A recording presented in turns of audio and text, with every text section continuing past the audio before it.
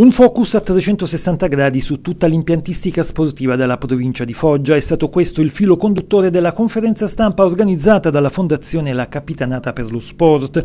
La riqualificazione di strutture sportive cittadine e provinciali rientra tra gli obiettivi prioritari della Fondazione Bellissario Masi.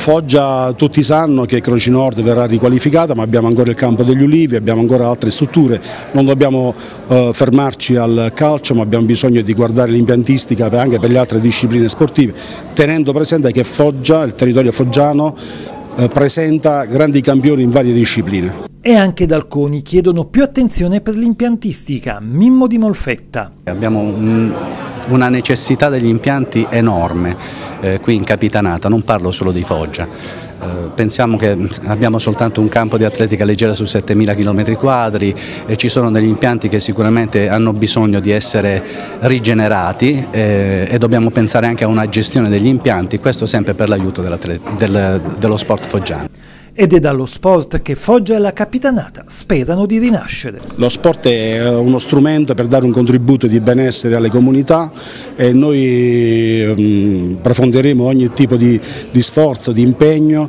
perché anche la Fondazione possa dare il suo contributo.